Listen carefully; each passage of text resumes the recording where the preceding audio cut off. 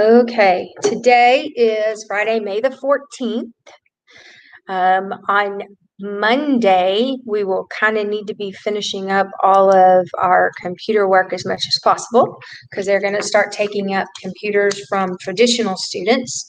Um, virtual students, you can keep your computers through the following Monday, which is the 24th.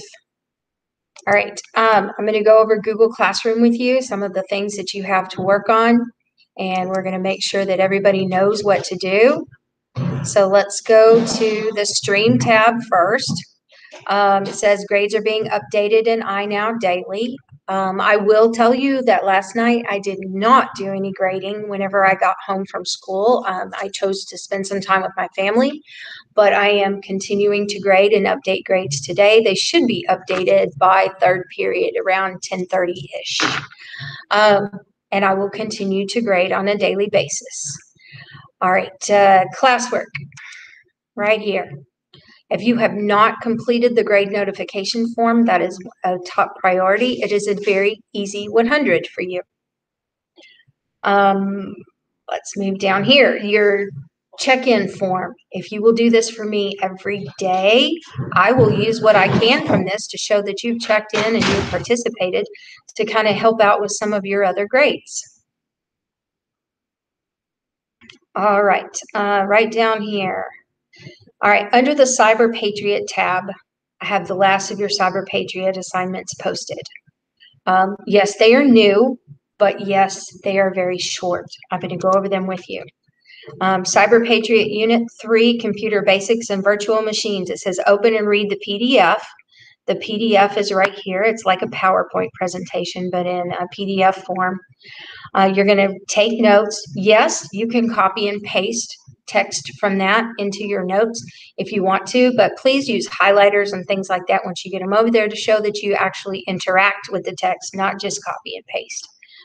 Um, you're going to put it on a Google Doc, and when you're finished, you're going to turn in the Google Doc. After you have finished the notes, go to the Quizlet vocabulary for this unit and study the words. Here's the Quizlet vocabulary right here. Um, let's go through here. You have some flashcards um, on you can click on the flashcard and it will show you a picture with these. This one I found one that had pictures with it and then um, definitions. All right, pictures and definitions. The same thing for this one, picture and definition. You can study these words. After you do that, you're going to go to Cyber Patriot Unit 3 quiz. And this is a quiz on the Teacher Made app where you go and you answer the questions. Um, you can use this right here has the same words as this Quizlet. You can use this to help you if you like. Um, I know that we're covering material quickly, so I don't mind you using the Quizlet to help you. When you're done, you come back here, you type in your grade in the private comments box, and then you mark as done or turn it in. It works exactly the same way for Cyber Patriot Unit 4. Here's your PDF file. Take notes on a Google Doc. Go study the words right here. And then after you study the words and you have your Google Doc ready to turn in, you click Turn In. And you can still use your words there to take your quiz for Cyber Patriot Unit 4. All right, cyber literacy. Um, you already had chapter 3 and chapter 16 under this tab, and you need to work on those. You need to make sure that those get submitted. Read the instructions on each one and turn in the assignments. All right, for chapter four, five, and six, these are very short activities. Um, what you're going to do is you're going to open and read the PDF. Here's a PowerPoint if you want to look at it. This is the reading, and you may need the reading because you're going to define the key terms. All you're going to do for these particular things is define the key terms and then turn that in. Uh, well, don't turn it in yet. You're going to define them on here because I put the quiz with it says you will be able to use these terms and documents on the quiz. After you have read and defined the key terms, click on the quiz link. When you finish the quiz, type your score in the private comments box. Here's the quiz right here. So again, you're going to create a Google document and take a quiz. You're going to tell me the quiz grade in the private comments box and you're going to click mark as done.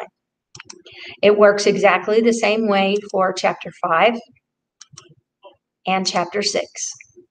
Right, these are short assignments. I made them short purposely so that all you have to do is define the key terms, use the notes, and take a little 10 question quiz.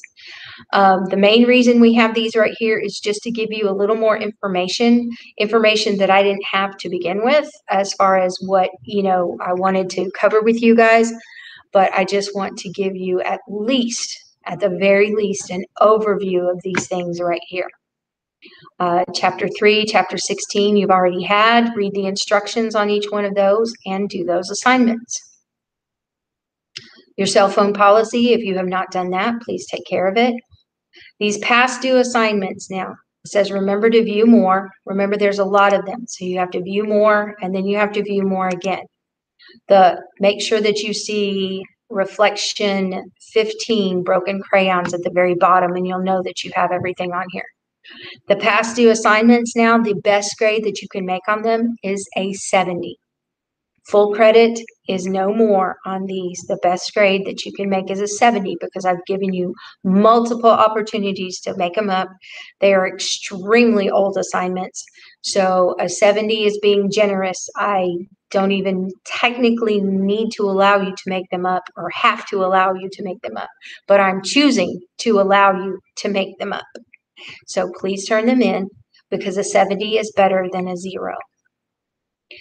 All right, um, I cannot think of anything else that I need to go over with you on here. Uh, you need to make sure that you're turning in work. If you want to check in with me today or Monday on a Google Meet, these are the times that I will be available today and Monday. Uh, if you want to email me, you can if you need to shoot me a text message on my uh, Google Voice number, you can do that. This is my contact information right here. It's on the stream. Um, if you want to join the Remind by sending a text uh, to 81010, and then um, you can put in this code at cybersec or cybersecurity 8 and then I can send you text messages on there where um, you know I send out class notices and things like that. But that is my contact information. Uh, these are our Google Meets for today and for Monday, so that you can uh, take care of assignments here. I'm going to go back to the Google Meet and stop presenting. Um, Melissa, do you have any questions? Okay. Um, and there aren't any virtuals on right now. So again, if you have questions, use the contact information to get in touch with me. All right, you guys get this done. It's not very much longer till we're out.